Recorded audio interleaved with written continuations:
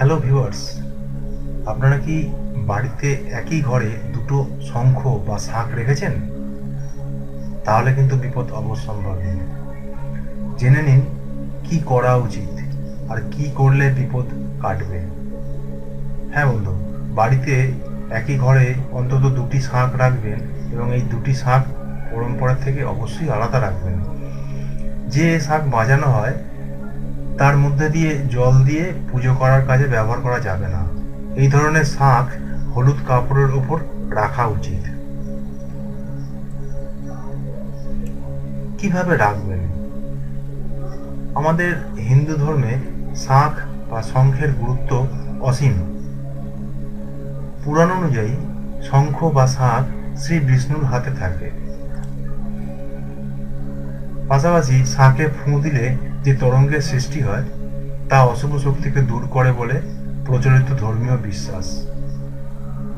তাই হিন্দু ধর্মের সকল পূজা অর্চনায় শাঁখ বাজানোটা গুরুত্বপূর্ণ অঙ্গ হিসেবে বিবেচিত হয়। শ্রী বিষ্ণুর শঙ্খ, চক্র, গদা, পদ্ম এর মধ্যে অন্যতম অস্ত্র হচ্ছে শাঁখ এই শাঁখে আওয়াজ তুলেই পুরাণে বারবার অশুভ শক্তিকে দূরে সরিয়েছেন তিনি। হিন্দু ধর্ম ছাড়াও বৌদ্ধ ধর্মেও শাঁখের ব্যবহার রয়েছে। বৈদিক মতে দু ধরনের শাঁখ পাওয়া যায়।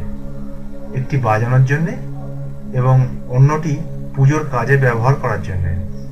বলা হয় যে নিয়মিত শঙ্খ বাজালে হার্টের অসুখ সহজে হতে পারে না। যদিও এটি প্রচলিত বিশ্বাস, তাও গৃহস্থ বাড়িতে দিনে দুবার, সকালে ও সন্ধ্যাবেলায় শাঁখ বাজাতেই হয়। হিন্দু ধর্মাবলম্বী প্রায় সকলের বাড়িতেই শাঁখ থাকে।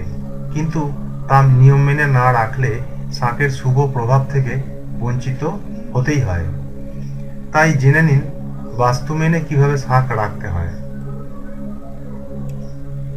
বাড়িতে দুটি অন্তত শাঁখ রাখবেন এবং এই দুটি শাঁখ পরম্পরা থেকে অবশ্যই আলাদা রাখবেন যে শাঁখ বাজানো হয়, তার মধ্যে জল দিয়ে পুজোর কাজে ব্যবহার করা যাবে না। এই ধরনের শাঁখ হলুদ কাপড়ের ওপর রাখা উচিত।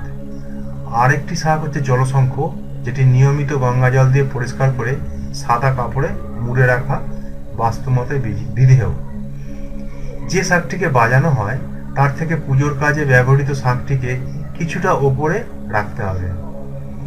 একই কাজে ব্যবহৃত দুটি শঙ্খ কখনোই একই ঘরে রাখবেন না।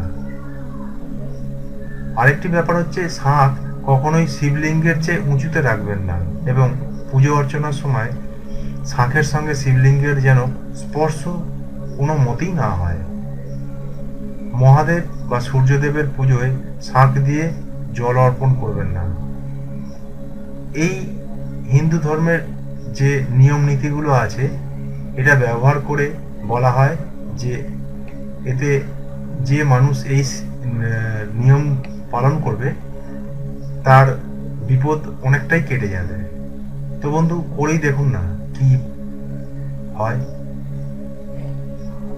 যদি ভিডিওটি ভালো লাগে এবং আমার এই ছোট্ট প্রয়াস যদি আপনাদের কোনো উপকারে আসে, তাহলে অবশ্যই চ্যানেলটিকে লাইক করুন শেয়ার করুন এবং সাবস্ক্রাইব করে সহযোগিতা করুন।